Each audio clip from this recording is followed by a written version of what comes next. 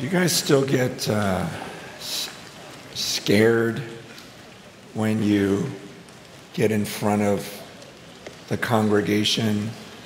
Um,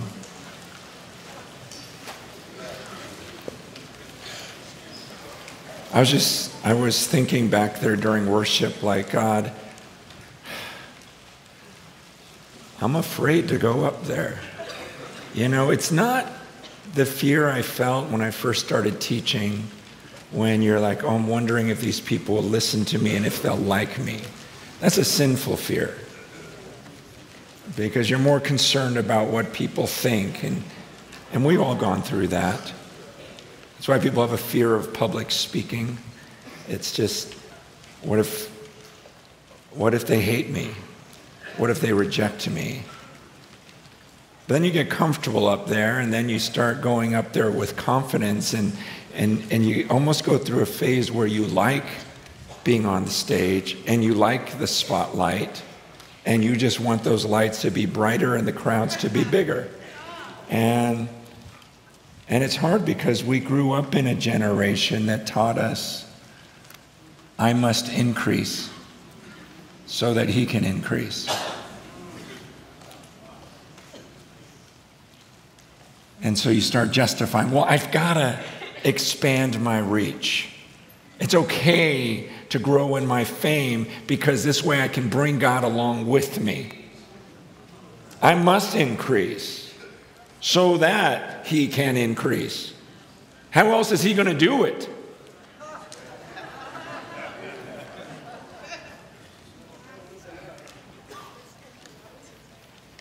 It's not the scriptures.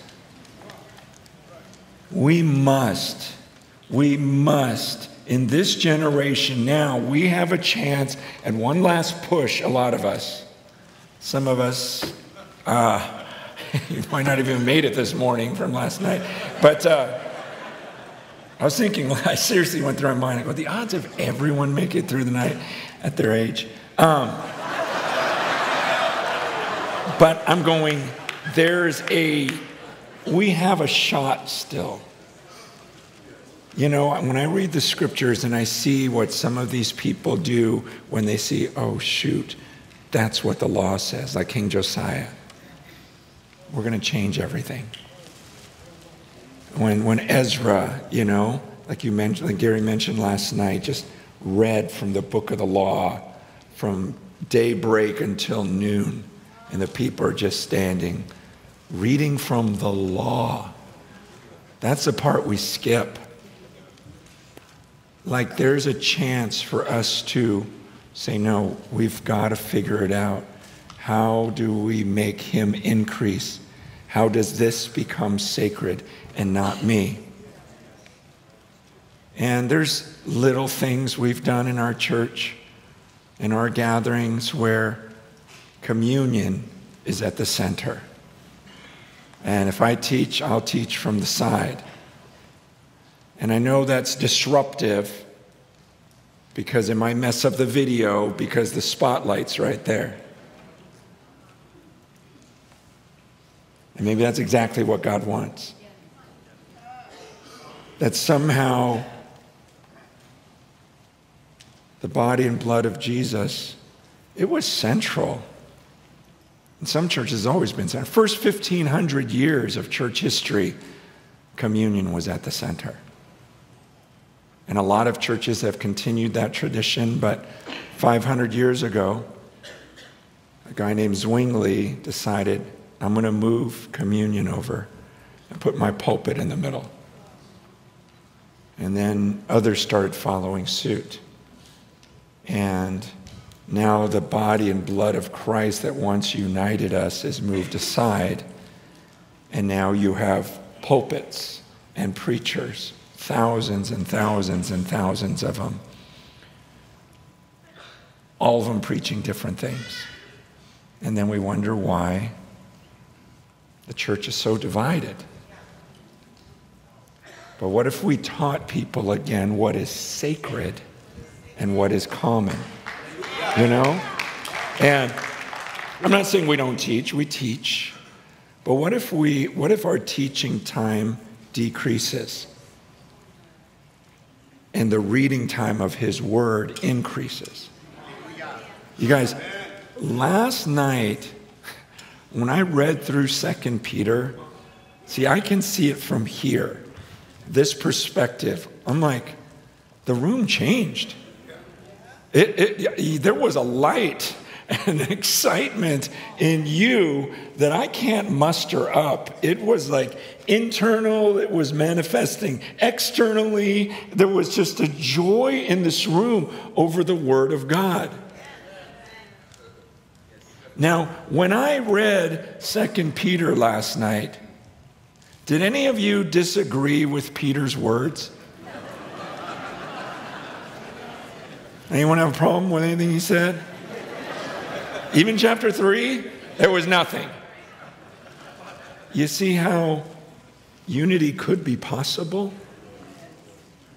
If we would spend more time reading the Word of God and teaching our people to revere it and to love it, to love it more than our stories, our insights, where they just go, I want to hear from Him. And there's something about the public reading of Scripture that is powerful. That, yeah, that does what no one else can do because those words are living. I'm, I want to beg you again read his word more. Uh, people are asking, How do you read the Bible in two weeks? I go, I had friends that read the Bible in three days out loud. They just took turns. And they said, let's just read through it cover to cover out loud. It took them 70 hours to go from Genesis to Revelation. Some of them took naps and this and that, but someone was always reading. And they just wanted to be in the room and read the Word of God. And they said, I, I can't even explain what happened when we got to the end of Revelation and the room just went nuts about the return of Christ. 70 hours out loud, so that means you can read it silently in probably 40 hours. Because it takes about twice as long to read it out loud. So we're not talking about impossible things. Talking about 40 hours, you could do it in a week. You know those screen time notifications? That's all I'm going to say.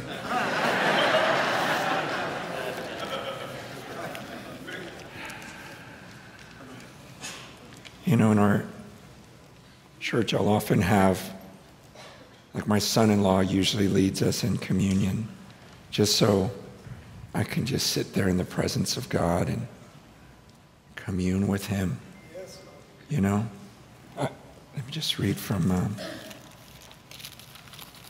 you know, it says in 1 Corinthians 10, um,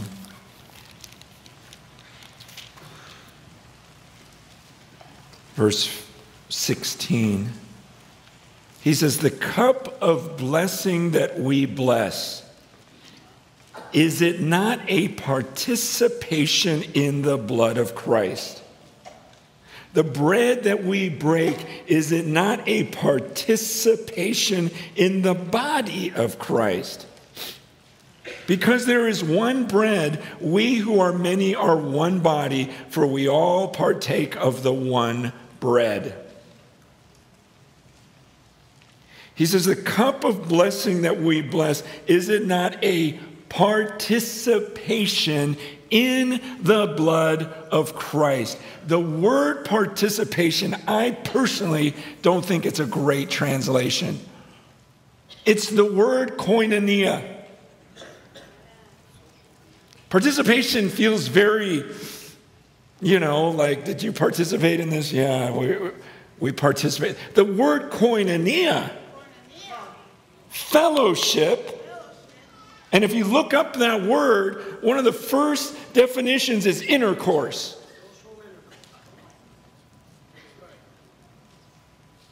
It's talking about an intimacy. And he says, This cup that we bless, is it not a koinonia, this intimate act with the blood of Christ? Now, again, I'm not going to try to define that, and I believe that's where we, we get so divided on so many things. It's a mystery, it's just a mystery. I mean, why did they have it at the center for all those years? Eh, someone challenged me a few years ago. They said, You know, how good is your church history? I go, It's, it's, it's all right. You know, I took church history class, several of them. And they go, Yeah, but your church history it's probably from the last 500 years. He says, You ever study the first 300 years? What did they do? What did they do for 300 years? Did they read the Bible? Did they have the Bible? Parts of it. But what did they do for those 300 years? Because it was centered around the body and blood of Christ. It was centered around this participation, this mystery, this koinonia. So you go and you gather. I had a friend from India one time who drove me to an event, and he's like, wow. I mean, there were lights, there were uh, just crazy, you know, there were animals, horses, donkeys, everything. And he was like, wow. He goes, You Americans are funny. He says, No one will show up if that speaker isn't going to be there, or some great band or something. He goes, In India, when we hear that there's going to be communion, we get excited. I said, Wow. I don't think I've ever seen that. It's become common it cuts into our time, our sermon time. I don't want to cut into my sermon time, so I'm not going to read chapters of the Bible. I don't want to cut into my sermon time by passing a plate or doing it however we do it. It just takes a lot of time. And yet, if I told you, hey, this morning you can listen to me, I've got a good sermon that I've prepared, or uh, there's actually another room back there and Jesus is actually there in such a way that you can touch him. Like you could literally touch Jesus in there. Like just, just touch his hand and then walk out. It's your choice. How many would stay in this room go, no, no, I came to see Francis Chan. Man, I sure hope this place would clear out and go, I've got some shot at like, I'll drive wherever I need to drive, I'll fly wherever I need to fly. If I could somehow commune with him, like touch him and koinonia with his body and blood. See, and how often did I stand up here going, hey, you know, look at me. I've thought some things through. I've got notes and I've been working on all week. It's like, oh, shoot, we ran out of time. We'll do communion next week. I'll let you touch him next week. Because you came for me, right? Came to hear another talk. We can change this, you guys. This is what I read in this book. There are people who step up and go, This was wrong. We blew it. We blew it. And it can change. And there's a younger generation that actually wants it to change. And if, if we who've been around for a while would be humble and go, you know what? I think I messed up. And in fact, I'm sure I have. Here's some ways that I've messed it up. And we need you guys to bring it back, you know, because you're that next generation. And they're done with the celebrity culture. They're done with all the gimmicks. They want, like what we just sang about. Like, God, are you telling me I could go and actually experience your glory? Are you telling me like like like this could be like a Matthew 17 moment on that mount of transfiguration where the cloud would speak I mean, can you imagine if you were standing on, if you had a choice, again, between listening to my sermon or going up onto a mountain and having a cloud envelop it and then hear the very words of God coming from that cloud, what would you pick? So, how much do we believe that these are the words of God? You know, that we treat it like we just heard from the cloud. And so, in our gatherings, I love our gatherings because the pressure's off me now. And when my son in law or whoever is leading us in communion, I'm just like so focused on him. God, I want a fellowship with you. I want to koinonia with you, with your body, your blood, whatever that looks like. I want as much of that as I can. This is why I came, is could my flesh and blood somehow koinonia with the body and blood of Christ? Mysteriously, God. What I, I don't understand it, but I want this. And then often I'll have my wife come up and just read a couple chapters of the Bible or anyone, and, and I just sit and I just soak it in. And, and everyone else does too. It's like, and so by the time I speak, it's like, or if I speak before the reading of Scripture, it's, it's, it's, it's starting to take its rightful place.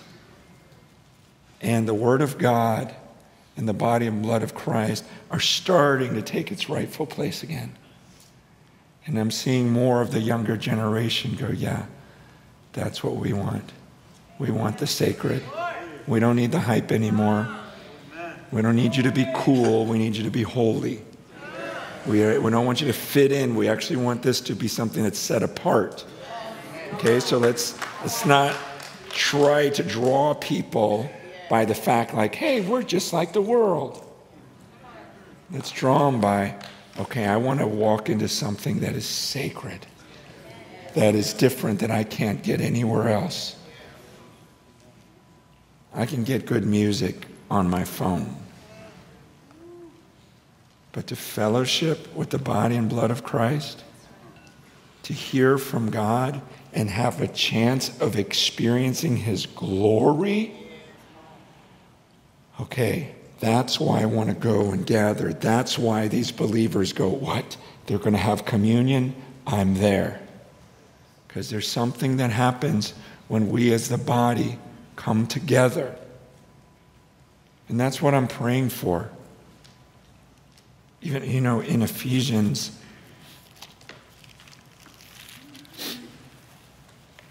in Ephesians chapter 3,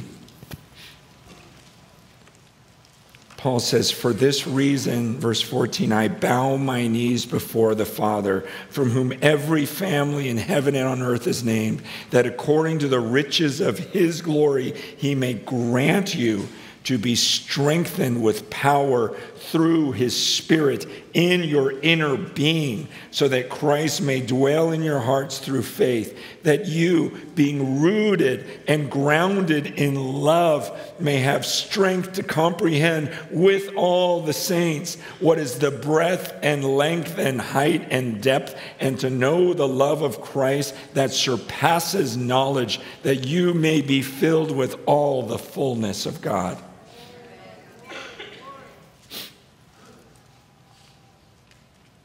Says, I'm on my knees because I want something mysterious, like a power to strengthen you in your inner being.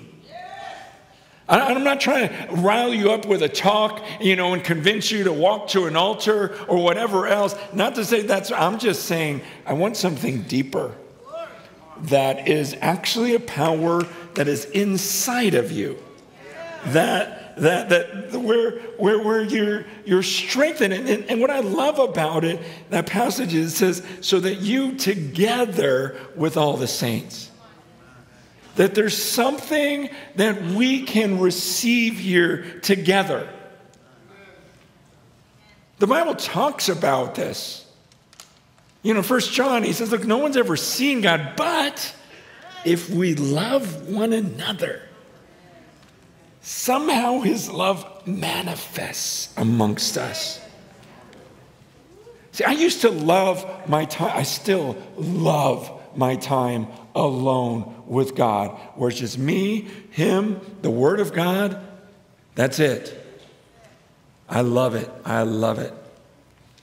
But lately, the last few years, I've loved even more being together with true brothers and sisters that also want this glory. Because something happens when the church assembles, when we gather together for the right reason, with one heart and one spirit. Not we all come in with our agendas. Well, I want this, I want this, I want this. I wish the church was more like, no, but we all just go, show me your glory. Show me your glory. I come here because I want to see your glory. I want to commune with your body and blood. I want to hear from the word of God. That's all I want. And so I'm going to love my brothers and sisters, and we're going to come and together say, Show me your glory. There's something about that. There's something about when we gather together and together with the saints that we're able to comprehend just how wide and long and high and deep is the love of Christ. It's when we get to know the love of Christ. Know the love of Christ. Not know about the love of Christ, but know the love of Christ, which surpasses knowledge. I can't teach you. I can't just put it on a screen and go, look, God loves you. Here's why it's beyond knowledge. There's some mystery that happens. And we need to bring back mystery. I mean, that's what, what, what the scripture says. I just want to be a, known as a servant of God and stewards of the mysteries of God. That's what he says. We, we just want to be, we just want to steward the mystery well. That's our job. Look, there's, there's a mystery that I, there was a mystery that happened to me when I was a teenager. I heard the gospel and something happened in me and it's mysterious and it was real. The reason why I know it's real because I'm standing here over 40 years later going, you know, I, I'm still standing, you know? And, and I love him even more, and I love his word even more. And, and now I'm, I'm like revering even. I even have a greater fear like, God, I don't want to take away any of your glory. I don't want, if you're on your throne and all those angels are just surrounding your throne like Revelation 5, I don't want to turn the attention, go, wait a second, look at me. I want them to keep staring at you, God. And I want to encourage everyone else to keep staring at you. And those who aren't looking at him, I want you to look at him. We've got to figure out how do we do this? How do we do it? The Word of God says something happens when we're together. And I, I just want to say just a couple more things, and I want to read Scripture again.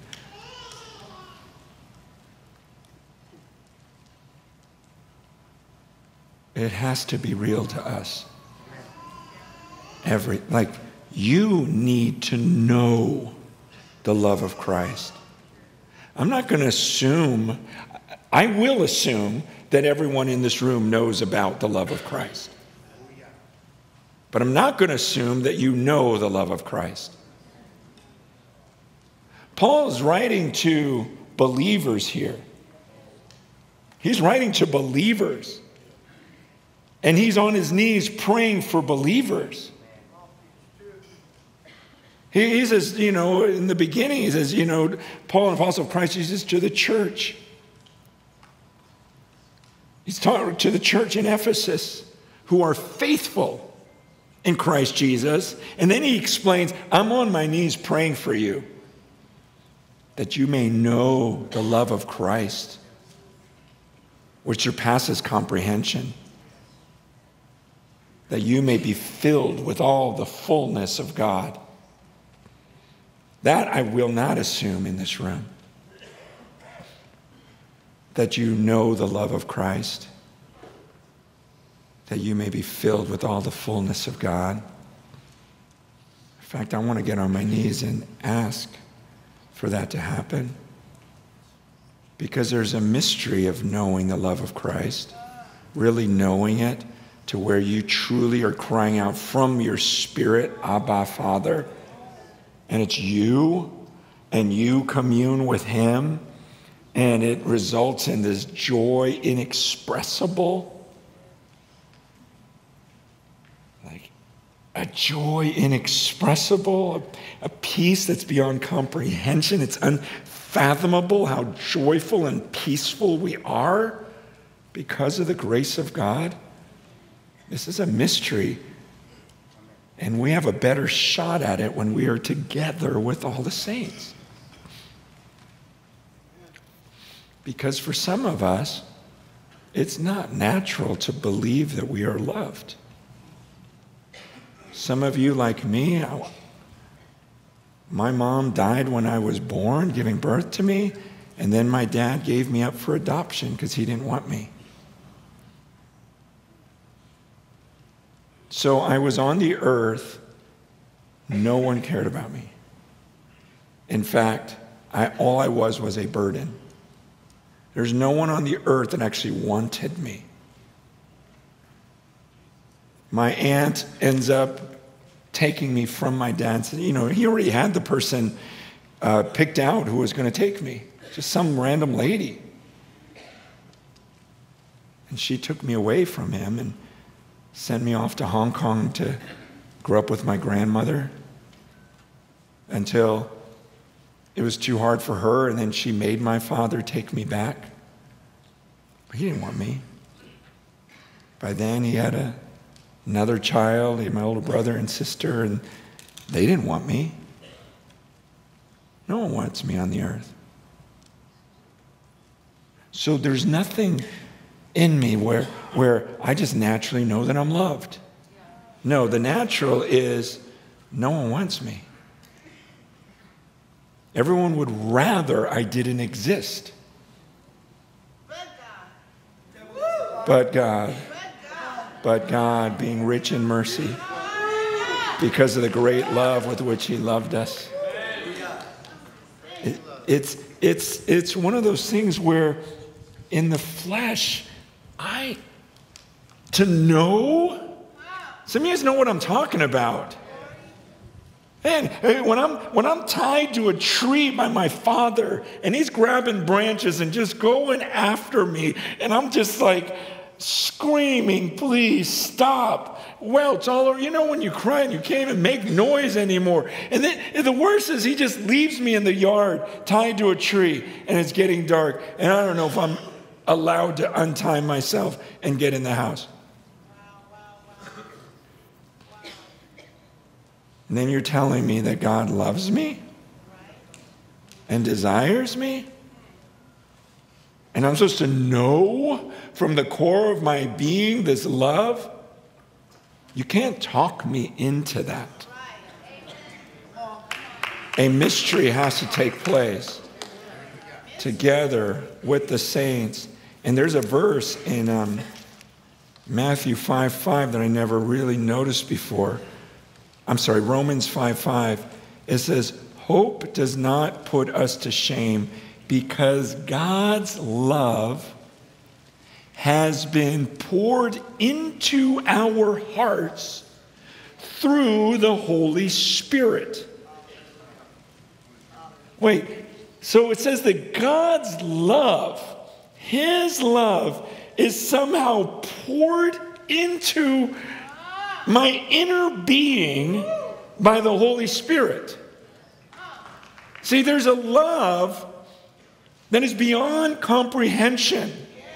It doesn't necessarily go through your ears into your cognitive reasoning and, and you know and then it makes this transfer into your heart no it's poured straight into your heart from the Holy Spirit. And I was meditating on that. Like, God, is this true? You can just pour things into the center of my being? How does that work? Because I thought I had to understand it through my cognitive reasoning, and then something happens up there, and then it has to slowly work its way down. And I believe God revealed to me, He goes, Well, then, what did we do with all these special needs kids? They can never know me? Or do we have a God so powerful that He can pour the love of God through the Spirit into their hearts? And this is our only hope. I want to pray that all of you, I don't know your background, there's a lot of insecurity in ministry because we don't know the love of Christ. We can't just sit here, do nothing, and just know that holy, holy, holy God has so much affection towards me. We, we still get into this works mentality for those of us who could never quite earn our parents' love or approval. But their approval is not the same as love. You know?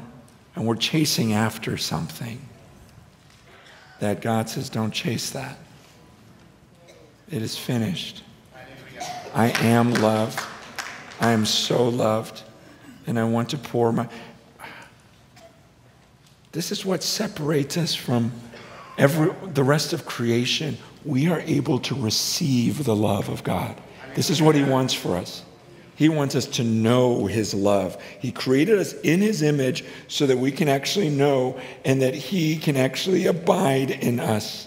That the Father and Son would actually come and live with us, and the Spirit would actually dwell inside. I was made in a mysterious way in the image of God. Just as the Father and Son is one, just as the Father has loved the Son, so has the Son loved me, and He's inviting me into this union.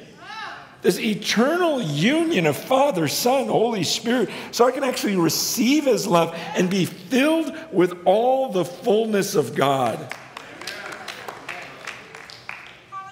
That's the mystery I'm after. And we want to lure people in with raffles.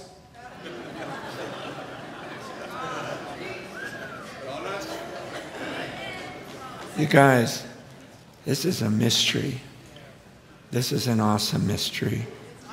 And I believe this morning I can come before the throne of grace and ask God to just pour his love by His Spirit into your hearts. To where that mystery that took place in my heart at 15, it lasted. And I believe that for some of us who believe, and we are believers like the Ephesians were believers, that He can do something mysterious in our inner being to where we're rooted and grounded in love. Not performance, not fear. We're rooted and grounded in love. And He'll give us strength to comprehend together with all the saints that somehow this mysterious gathering will produce in us the ability to comprehend, to know the love of Christ, to know how wide and long and high and deep, and to truly know God is crazy about me right now. Amen. I'm telling you guys, some of you will understand what I'm about to say. For years as a pastor, I could stand in front of a crowd and with confidence go, I love Jesus Christ. But I could not, with the same confidence, say, Jesus loves Francis Chan. There was something that, that felt arrogant about that. See, that's, that's what Satan does. He goes, Oh, that's pride. It's like, no, that's gospel. You know, like there's something about, I can't say, you, you know, like, like John, admit it, when you read John and he calls himself the beloved disciple, doesn't it bother you? And if you were one of the other disciples and he kept calling, I'm the one he loves. Right? It seems arrogant. It seems arrogant to say, I'm the one that he loves. And, and for years, I, I thought, I want to be Elijah on Mount Carmel. Man, bring it on. Bring in any faith. And I want to call down fire from heaven. Or I want to part the Red Sea. Or, or, or when, when Elijah, when he, when, when he just calls down fire whenever he wants, burns up 50 people, 50 more come. Watch this.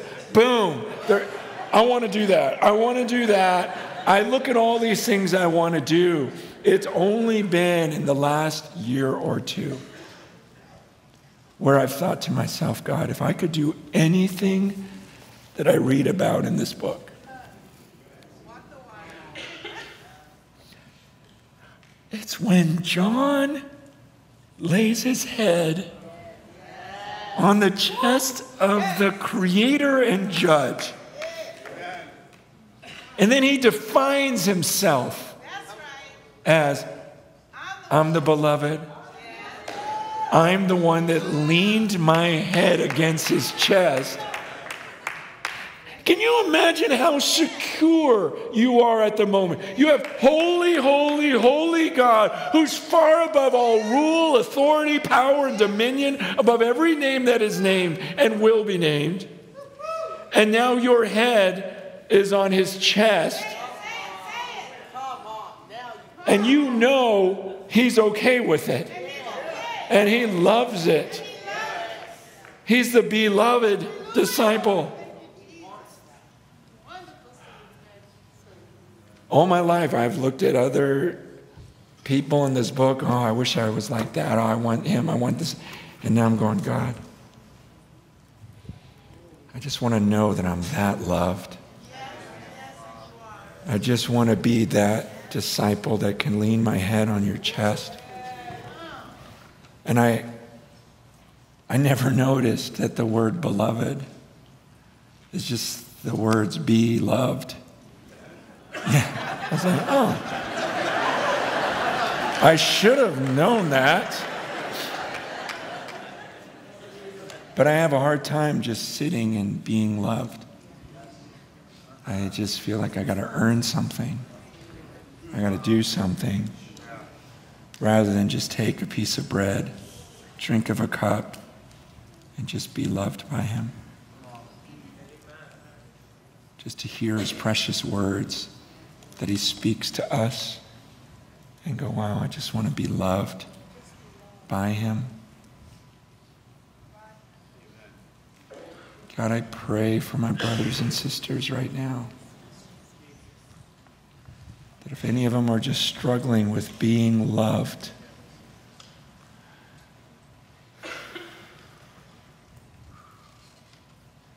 change us, Lord.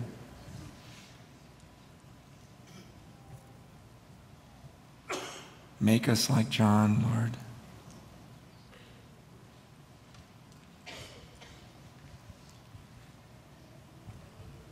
Help us to just be loved, be known for being loved. Help us that if we're going to boast in anything, that we boast in being known and loved by you, not because of anything we've done or will do. It's blasphemous. It's because of your grace. It's because you are love and you so loved that you reconciled us. God, bring joy back into our hearts, not because our church is growing, not because we have more followers, but because we have the confidence to lean our head upon your chest and just commune with you. May our joy be from fellowshipping, koinonia, with your body and blood, and going, who are we to koinonia with your flesh and blood? To hear your words, to see your glory and not be consumed. God, may this be the joy of our lives. Please, Lord, fill us.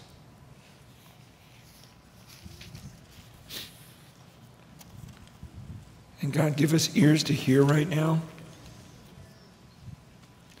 Help us see ourselves on that mountaintop as we listen to your word. I pray for supernatural attention span right now. For those of us who've been con- addicted to our phones, give us reverence to set your word apart as we listen to your word out of Ephesians 2 and 3. Just listen to this. I'm just going to listen to this and enjoy these words of love from God, my Abba Father.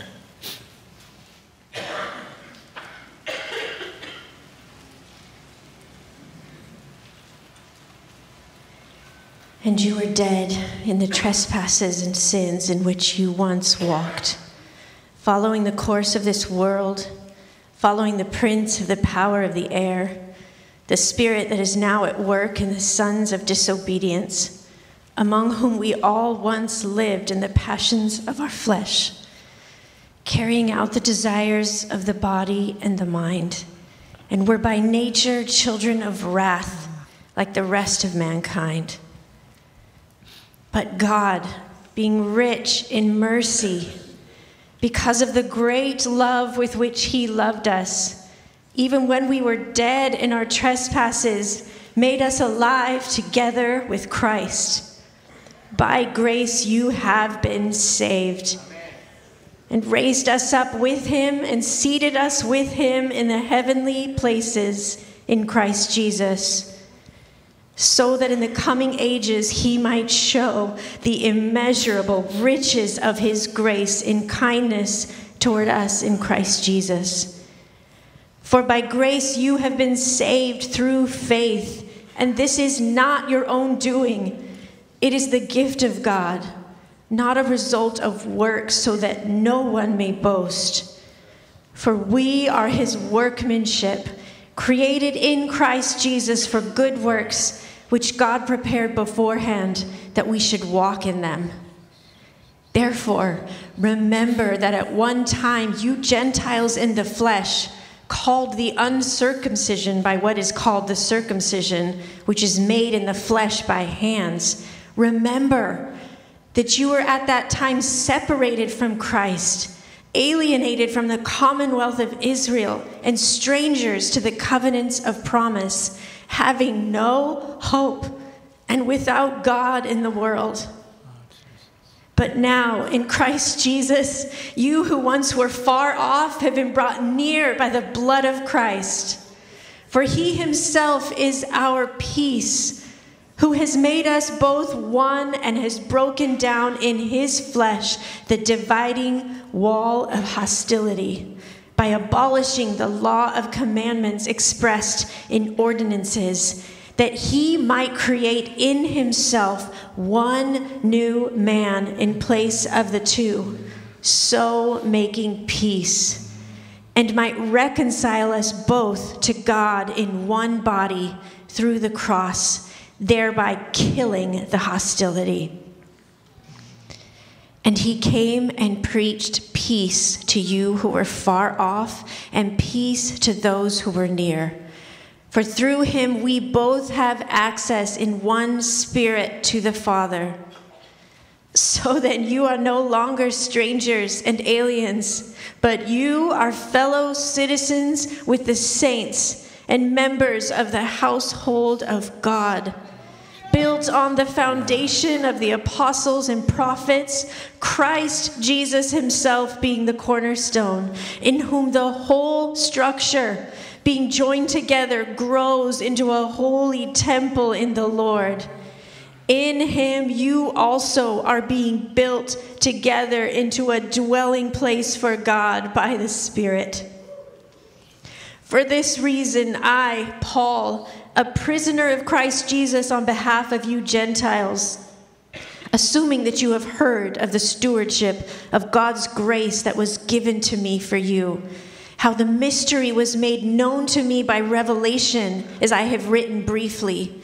When you read this, you can perceive my insight into the mystery of Christ which was not made known to the sons of men in other generations, as it has now been revealed to his holy apostles and prophets by the Spirit. This mystery is that the Gentiles are fellow heirs, members of the same body, yes. and partakers of the promise in Christ Jesus through the gospel. Of this gospel, I was made a minister according to the gift of God's grace, yes. which was given me by the working of his power. Yes. To me, though I am the very least of all the saints, this grace was given to preach to the Gentiles the unsearchable riches of Christ and to bring to light for everyone what is the plan of the mystery hidden for ages in God who created all things, so that through the church the manifold wisdom of God might now be made known to the rulers and authorities in the heavenly places. This was according to the eternal purpose that he has realized in Christ Jesus our Lord in whom we have boldness and access with confidence through our faith in him. So I ask you not to lose heart over what I am suffering for you, which is your glory. For this reason, I bow my knees before the Father, from whom every family in heaven and on earth is named that according to the riches of his glory, he may grant you to be strengthened with power through his Spirit in your inner being, so that Christ may dwell in your hearts through faith. That you, being rooted and grounded in love, may have strength to comprehend with all the saints what is the breadth and length and height and depth, and to know the love of Christ that surpasses knowledge, that you may be filled with all the fullness of God. Now, to him who is able to do far more abundantly than all that we ask or think according to the power at work within us. To him be glory in the church and in Christ Jesus throughout all generations, forever and ever. Amen.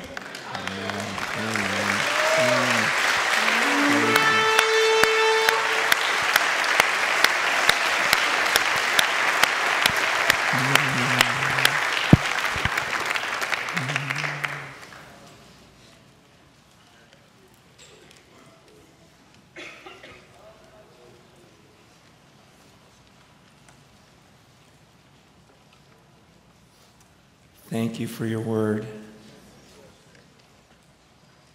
Thank you for your living and active word. Thank you that you've promised that it will not return void. Thank you that heaven and earth will pass away, but not your word, because you have exalted it above all things your name and your word. Please, Lord, now give us wisdom from heaven on how to exalt your word before our people.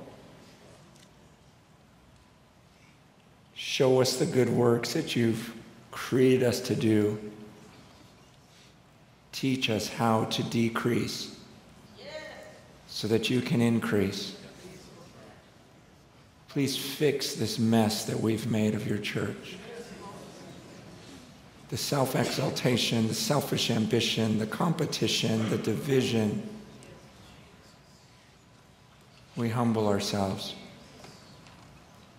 We seek your face. We want to turn from our wicked ways.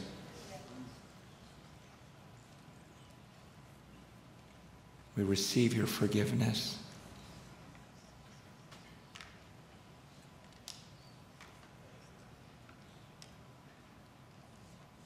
Heal your church and distinguish yourself from all these other belief systems because you alone are God. And at the name of Jesus, every knee shall bow and every tongue confess in heaven, on earth, and under the earth. Every tongue will confess that Jesus Christ is Lord to the glory of God the Father. We rest in this promise. Thank you for building your church. Thank you, that the gates of hell has not stood against it. And thank you that 2,000 years later, we have enjoyed your promise. Thank you for your church. Thank you for this body. Thank you that we can stand together and become a dwelling place for your spirit. Come and dwell amongst us, Lord. In Jesus' name, amen.